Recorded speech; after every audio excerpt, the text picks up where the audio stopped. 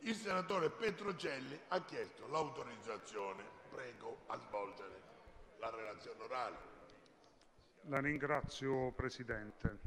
Questa ratifica riguarda un DDL che serve ad eliminare le doppie imposizioni in materia di imposte di reddito e per prevenire le evasioni e le elusioni fiscali con protocollo.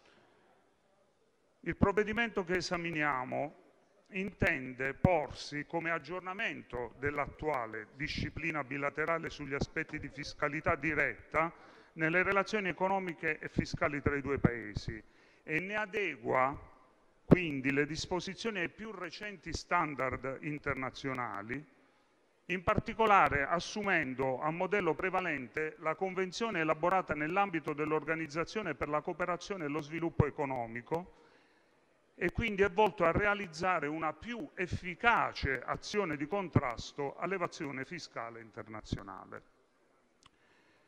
Questo accordo si compone di 30 articoli e di un protocollo e una volta entrato in vigore, lo tendo a sottolineare, consentirà alle imprese italiane di operare nella Repubblica Popolare Cinese in condizioni migliori e in posizione concorrenziale rispetto alle aziende di altri Paesi europei ed inoltre consentirà agli investitori cinesi in Italia di avere maggiori certezze operative.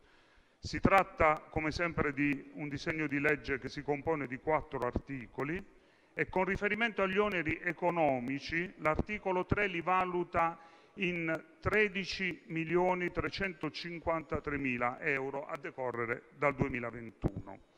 Non presenta anche questo profili di incompatibilità né con la normativa nazionale né con l'ordinamento dell'Unione Europea né con altri obblighi internazionali sottoscritti dall'Italia. Si propone l'approvazione del disegno di legge da parte dell'Assemblea. La ringrazio Presidente.